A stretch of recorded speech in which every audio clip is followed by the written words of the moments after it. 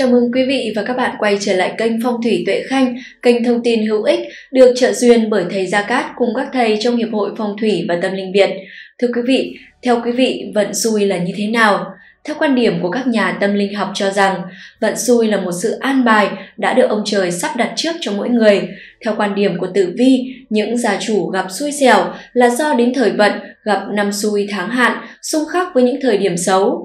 Theo đó, trong ngày 26 tháng 10 âm lịch tới đây, vận xui bắt đầu đeo bám theo những con giáp này, khiến vận số của họ đi xuống tận đáy, tận cùng của xã hội, không ngóc đầu lên được, không chỉ tiền bạc đội nón ra đi, mà vạn sự cũng gặp phải bế tắc, thậm chí là tán ra bại sản, bán nhà trả nợ, gia đình ly tán.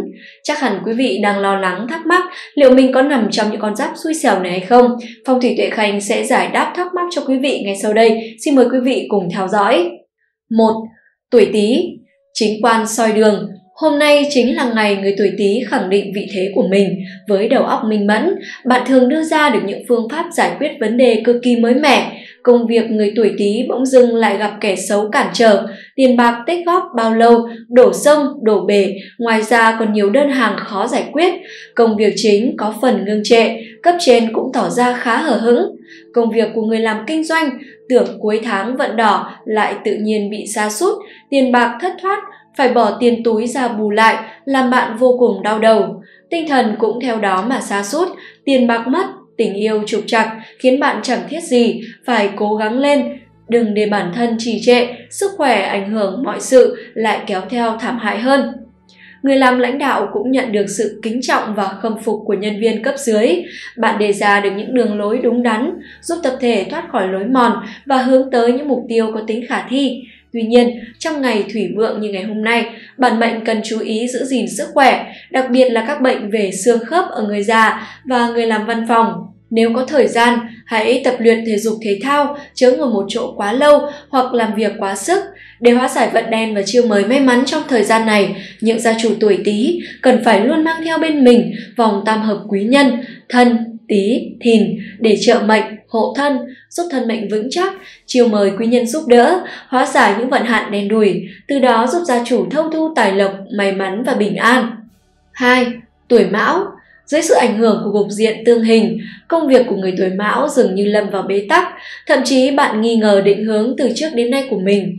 Tuy nhiên, bạn chớ vội bi quan mà nghĩ tới việc bỏ việc giữa chừng. Khi bạn không thể tự mình tìm ra hướng đi mới cho vấn đề, hãy thử trao đổi, chia sẻ với những người giàu kinh nghiệm hơn. Rất có thể thông qua cuộc trò chuyện, bạn sẽ được khơi gợi, mở mang đầu óc hơn, mọi chuyện sẽ chẳng còn quá nghiêm trọng như trước nữa.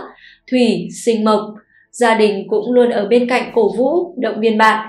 Vì thế, con giáp này có thể yên tâm rằng mình không hề cô đơn. Hãy mạnh dạn dấn bước, rồi bạn sẽ tìm ra ánh sáng cuối đường hầm. Dù hiện tại có khó khăn ra sao, để hóa giải vận đen và chiều mời may mắn trong thời gian này, những gia chủ tuổi mão cần phải luôn mang theo bên mình vòng tam hợp quý nhân, hợi, mão, mùi để trợ mệnh, hộ thân, giúp thân mệnh vững chắc, chiều mời quy nhân giúp đỡ, hóa giải những vận hạn đen đủi, từ đó giúp gia chủ thâu thu tài lộc, may mắn và bình an. 3. Tuổi tỵ Thủy, khắc hỏa, người tuổi tỵ cần phải cẩn trọng khi kết giao với người khác, bởi kẻ tiểu nhân có thể xuất hiện bên cạnh và tìm thời cơ hãm hại bạn bất cứ lúc nào. Tốt nhất, bạn không nên vội tin theo lời của người không thân thiết. Tưởng như ngày 26 tháng 10 âm lịch, bạn sẽ có được thành công, tích góp nhiều tiền để tiêu Tết, mà không ngờ tự dưng mọi thứ lại gặp trục trặc, làm cho bạn không kịp trở tay. Xem tử vi 12 con giáp cho hay, những mối quan hệ xã hội của tuổi tỵ tự dưng bị thụt lùi khiến cho mọi người nghi ngờ trình độ của bạn. Không biết có ai chơi xấu hay hẫng tay trên của bạn không mà khiến tình hình công việc thực sự đi vào ngõ cụt. Phải hết sức lưu ý các mối quan hệ xung quanh và phải chăm chỉ, chịu khó. Sức khỏe giảm sút lại kéo theo tình cảm rối ren, hôn nhân dạn nứt làm bạn thật sự đau đầu, phải có cuộc nói chuyện nghiêm túc với người ấy để người ấy hiểu hơn chứ đừng để tình trạng hiểu lầm có thể sẽ dẫn đến hôn nhân tan vỡ. Người độc thân cũng có những quan điểm khá tiêu cực về chuyện tình cảm. Bạn nhìn thấy khuyết điểm ở tất cả mọi người nên chẳng muốn kết giao với bất kỳ ai. Tuy nhiên, không phải đánh giá nào của bạn cũng là chính xác, bạn đang tự đánh mất đi những cơ hội tốt. Để hóa giải vận đen và chiêu mới may mắn trong thời gian này, những gia chủ tuổi tỵ cần phải luôn mang theo bên mình vòng tam hợp quý nhân, tỵ, dậu, sửu để trợ mệnh, hộ thân, giúp thân mệnh vững chắc, chiêu mới quý nhân giúp đỡ, hóa giải những vận hạn đen đủi, từ đó giúp gia chủ thâu thu tài lộc và bình an. 4. Tuổi ngọ Tý, ngọ, tương xung, đẩy người tuổi ngọ vướng vào tình thế khó khăn trong công việc, bạn chẳng nhận được sự giúp đỡ của bất cứ ai nên luôn phải tự lực cánh sinh. Điều đó khiến bạn cảm thấy mệt mỏi, nhiều khi nghĩ đến việc bỏ cuộc. Vào ngày 26 tháng 10 âm lịch, tràn đầy hy vọng, bỗng nhiên bị dập tắt bởi những kẻ tiểu nhân đang mang lòng đố kỵ. Cơ hội làm việc đang đến với bạn nhưng tự nhiên có người hận tay trên, làm bạn mất đi sự tin tưởng của cấp trên. Bạn mong muốn hoàn thành tốt công việc được giao và các dự án của bản thân nhưng lại bị ngừng đầu tư nên dẫn tới ngưng trệ. Điều đó làm cho tiền bạc bị thất thoát, tiền thưởng cuối năm cũng giảm đi nhiều. Tình hình tài chính không tốt, túi tiền của bạn không còn được dư giả như trước nữa, làm bạn buồn trong khi người thân bạn lại đang mong chờ sự giúp đỡ từ bạn. Tuy nhiên, trước khi than thân trách phận hoặc đổ lỗi cho người khác, con giáp này cần dành thời gian để nhìn nhận lại chính bản thân mình. Có thể những hành động từ trước đến nay của bạn đã làm mất lòng rất nhiều người khác mà bạn không ý thức được. Thủy khắc hỏa, mối quan hệ của bản mệnh và người ấy đang ngày càng trở nên căng thẳng, thậm chí dần đi vào kết cục đổ vỡ. Chính bạn cũng không hiểu được bản thân mình nên cứ mắc hết sai lầm này đến sai lầm khác. Để hóa giải vận đen và chiêu mời may mắn trong thời gian này, những gia chủ tuổi ngọ cần phải luôn mang theo bên mình vòng tam hợp quý nhân, dần, ngọ, tuất để trợ mệnh, hộ thân, giúp thân mệnh vững chắc, chiêu mời quý nhân giúp đỡ, hóa giải những vận hạn đen đủi, từ đó giúp gia chủ thâu thu tài lộc và bình an. 5. Tuổi mùi Tương hại giáng họa, người tuổi mùi khó tránh khỏi xui xẻo trong ngày hôm nay, dù bạn có cố gắng thế nào đi chăng nữa, những rắc rối vẫn luôn xảy ra, hết lúc này đến lúc khác. Người làm ăn kinh doanh chớ nên đưa ra những quyết định mạo hiểm, thay vì vội vàng chạy theo bước chân của người khác, bạn nên bình tĩnh để có thể đánh giá tình hình chuẩn xác, tránh rơi vào những sai lầm không đáng có.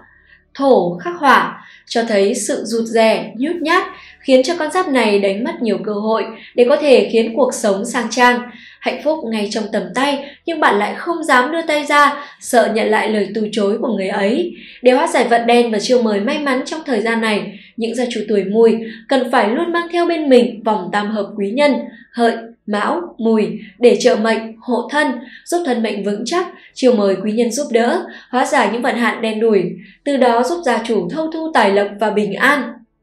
6. Tuổi dậu Tử vi hàng ngày thấy tương phá gây họa, người tuổi dậu cần cẩn trọng trong việc đầu tư, chớ hát tiền bạc từ trên trời rơi xuống. Nếu bạn không chịu bỏ công, bỏ sức làm việc, chỉ mong ngồi mát, ăn bát vàng thì sẽ dễ bị lừa lọc, mất tiền không đáng.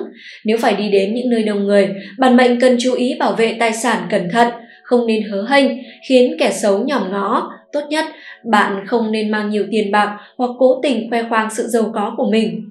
Để hóa giải vận đen và chiêu mời may mắn trong thời gian này, những gia chủ tuổi dậu cần phải luôn mang theo bên mình vòng tam hợp quý nhân, tỵ, dậu, sửu để trợ mệnh, hộ thân, giúp thân mệnh vững chắc, chiêu mời quý nhân giúp đỡ, hóa giải những vận hạn đen đủi, từ đó giúp gia chủ thâu thu tài lộc và bình an.